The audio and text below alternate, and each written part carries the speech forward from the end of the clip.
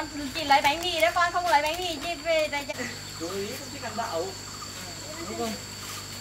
chị bảo là mua thêm vào thì hôm qua 10 nghìn ăn tí hết